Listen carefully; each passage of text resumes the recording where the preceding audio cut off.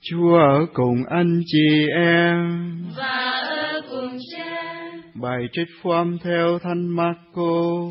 Lạy Chúa, vinh nhân Chúa. Khi ấy, Chúa Giêsu vừa lên đường thì một người chạy lại quỳ gối trước người và hỏi: Lại thầy nhân lành, tôi phải làm gì để được sống đời đời? Chúa Giêsu trả lời: Sao ngươi gọi ta là nhân lành? Chẳng có ai là nhân lành trừ một mình Thiên Chúa. Ngươi đã biết các giới răn, đừng ngoại tình, đừng giết người, đừng trộm cắp, đừng làm chứng gian, đừng lường gạt, hãy thảo kính cha mẹ. Người ấy thưa, lại thầy những điều đó tôi đã giữ từ thuở nhỏ. Bây giờ Chúa Giêsu chăm chú nhìn người ấy và đem lòng thương mà bảo rằng, Ngươi chỉ còn thiếu một điều là ngươi hãy đi bán tất cả gia tài, đem bố thí cho người nghèo khó, và ngươi sẽ có một kho báu trên trời, rồi đến theo ta. Nhưng người ấy nghe những lời đó thì sụ nét mặt và buồn rầu bỏ đi vì anh ta có nhiều của cải. Lúc đó Chúa Giêsu nhìn chung quanh và bảo các môn đệ rằng, những người giàu có vào nước Thiên Chúa thật khó biết bao. Các môn đệ kinh ngạc vì những lời đó. Nhưng Chúa Giêsu lại nói tiếp và bảo các ông rằng, Hỡi các con, những kẻ cậy dựa vào tiền bạc, thật khó mà vào nước Thiên Chúa biết bao. Con lạc đà chưa qua lỗ kim còn dễ hơn người giàu có vào nước Thiên Chúa. Các ông càng kinh ngạc hỏi nhau rằng, như vậy thì ai có thể được cứu độ? Chúa Giêsu chăm chú nhìn các ông và nói, đối với loài người thì không thể được, nhưng không phải đối với Thiên Chúa, vì Thiên Chúa làm được mọi sự. Phêrô thưa cùng Chúa Giêsu rằng, đây chúng con đã bỏ mọi sự mà theo Thầy. Chúa Giêsu trả lời rằng, Thầy bảo thật các con, ai chẳng bỏ nhà cửa, anh em, chị em, cha mẹ, con cái, đồng ruộng, vì Thầy và vì phúc âm, mà ngay bây giờ lại không được gặp gấp trăm ở đời này về nhà cửa, anh em, chị em, cha mẹ, con cái và ruộng nương, cùng với sự bắt bớ, và ở đời sau được sự sống vĩnh cửu. Nhưng có nhiều kẻ trước nhất sẽ nên rốt hết, và những kẻ rốt hết sẽ nên trước nhất. Đó là lời Chúa. Lạy Chúa Kitô, ngài khen Chúa.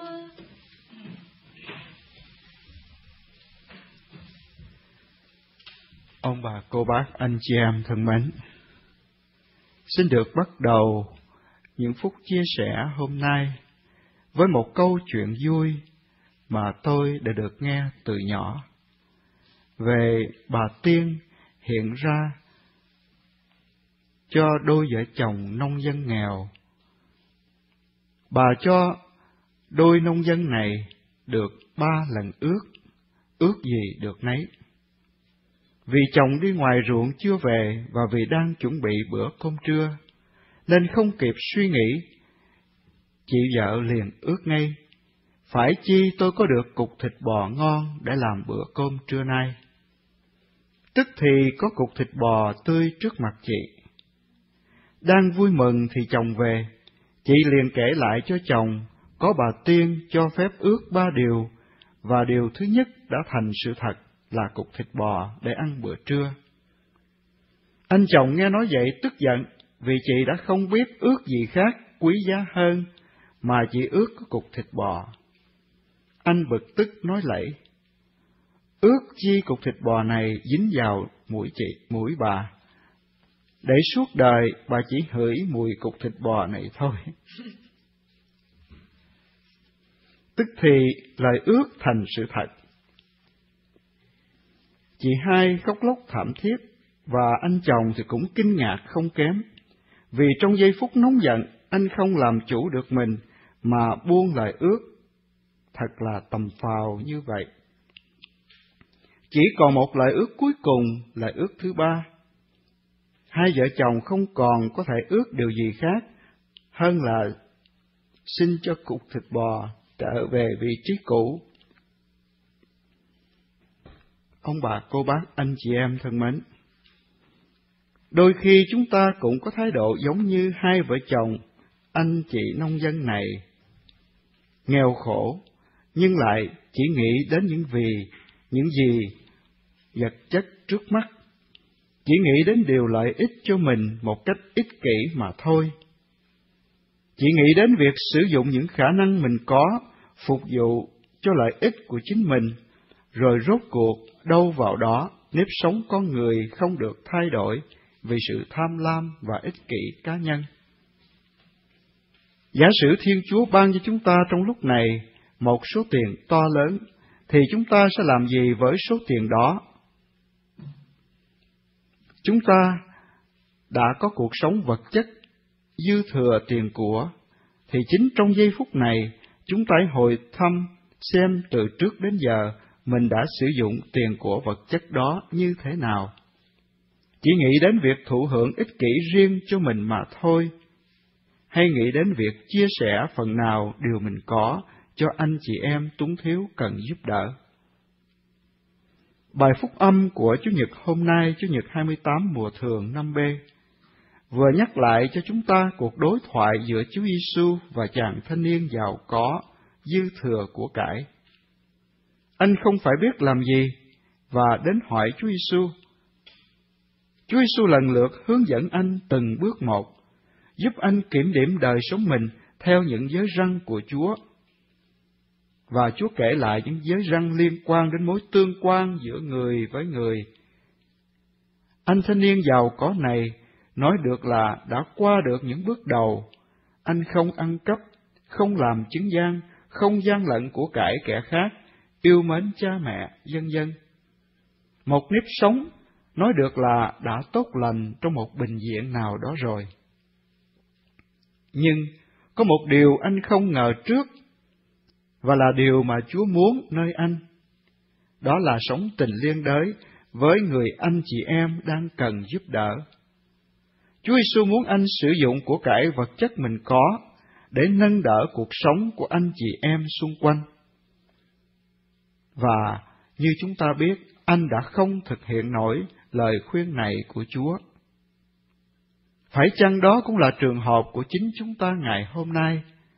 Chúng ta sống êm ấm, nói được là tốt lành trong mức độ nào đó, vì có đời sống vật chất được bảo đảm nhưng chúng ta không nhìn thấy những nhu cầu của anh chị em xung quanh. Chúng ta không nhìn thấy ý muốn của Chúa muốn cho chúng ta chia sẻ những gì mình có với anh chị em xung quanh đang cần được trợ giúp. Và để làm được việc này, cần phải đặt Chúa vào chỗ đứng thứ nhất trong đời sống của mình, chứ không phải tiền của hay những gì khác. Hãy cho đi mọi của cải hãy bán đi mọi của cải, bố thí cho người nghèo, rồi đến đây theo ta. Thiên Chúa luôn mời gọi như vậy với tất cả những ai muốn sống theo Ngài. Và bài phúc âm hôm nay kết thúc bằng một đối thoại khác giữa Chúa Giêsu và các môn đệ. Phêrô thay thế cho các môn đệ nói với Chúa, phần chúng tôi đây thì sao thưa thầy? chúng con đã bỏ hết mọi sự để theo Thầy. Chúa không đáp lại bằng một lợi lộc vật chất cho những ai muốn theo Chúa, và Chúa mở ra cho họ một viễn tượng cuộc sống đời đời. Nếu không nhìn thấy viễn tượng cuộc sống đời đời trong đời sống mình, trong đời sống anh chị em, chúng ta cũng khó mà phục vụ anh chị em thật lòng, khó mà theo Chúa Cuộc đời theo Chúa của chúng ta chỉ có ý nghĩa nếu đời sống con người không kết thúc với cuộc sống trên trần gian này với cái chết. Xin Chúa mở mắt cho chúng ta được nhìn thấy điều quan trọng cần thiết là chính Chúa. Xin Chúa giúp cho mỗi người chúng ta được trung thành với sứ mạng đã lãnh nhận và được trưởng thành trong đức tin mà giờ đây chúng ta cùng nhau tuyên xưng qua kinh tinh kính.